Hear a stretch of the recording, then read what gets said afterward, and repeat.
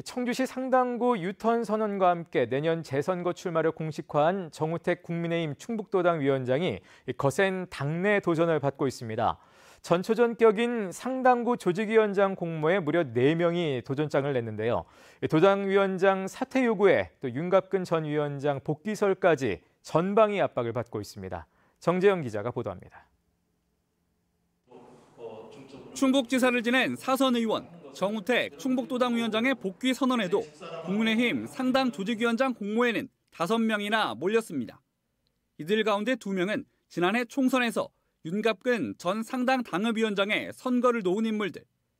윤갑근 전 위원장은 당시 현역인 정우택 의원을 밀어내고 상당구 공천을 받아 정 의원의 흥덕구 출마에 영향을 준 장본인입니다.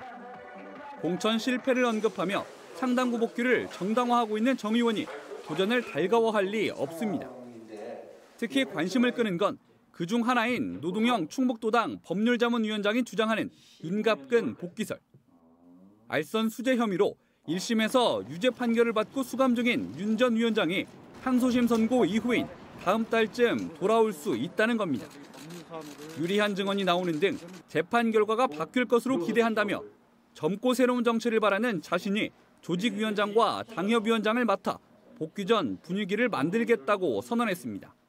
마무리 단계에 있는데 12월 어, 어, 초순경에 어, 그러한 2심 판결이 음, 나게 되면 윤곽근 전 위원장의 복귀가 가능하게 됩니다. 아, 그렇게 되면 지역 정치에 커다란 변화가 예상이 되고 앞서 윤갑근 전 위원장의 지지자들과 교감하고 있다고 밝힌 신동현 중앙당 지방자치위원 역시 복귀가 성사되면 재선거에 나가지 않겠다는 뜻을 밝혔습니다. 그러면서 정우택 현 도당위원장의 상당구 공천 실패론을 공개 저격했습니다.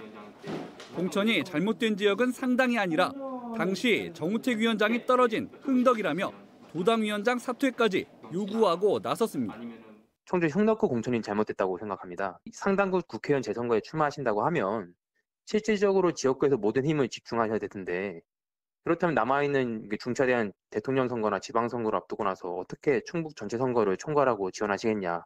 여기에 대해서 저는 의문점을 가지고 있, 습니다 여기에 정우택 도당위원장의 상당구 현역 시절 미흡했던 부분이 있고 자신은 더 잘할 수 있다며 도전한 정치 신인 신동규 공동주택 사회적 협동조합 이사장과 정치 신인이라는 가점 뭐 그다음에 거기 그 어, 일단 면접관들의 그 채점이 있지 않습니까?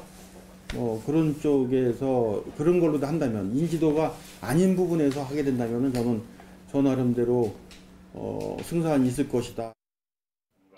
길고 짧은 건 대봐야 한다며 22년 공인중개사 경력과 인맥을 내세워 국회의원 재선거까지 나가겠다는 임병윤 지리연구가도 있습니다. 아니 괜찮습니다. 예. 뭐 오신 거는 몰랐지만은 뭐 오셔도 괜찮습니다. 뭐 선의의 경쟁을 해서 당에서 과연 누가 그 국민의힘에서 필요한 사람인가 그것을 당에서 이제 판단을 하시면 됩니다. 국민의힘 중앙당 조광특위는 이번 주 중에 면접을 진행한 뒤 대선 후보 확정을 전후해 상당 조직위원장을 선출할 예정.